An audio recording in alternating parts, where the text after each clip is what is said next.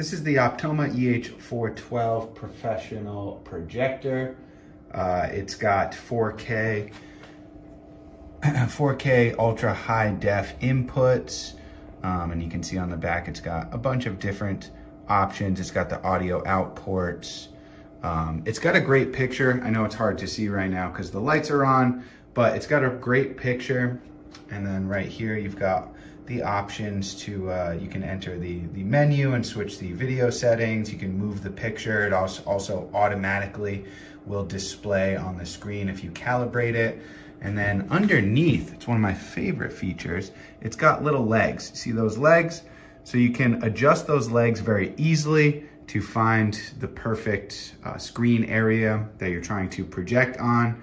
And then you can also see I've got uh, a Chromecast hooked up so I can stream directly uh, from my PC, which is really nice if I'm trying to present something on my computer. So it has, you know, it has all of the options that you would need as far as inputs and outputs.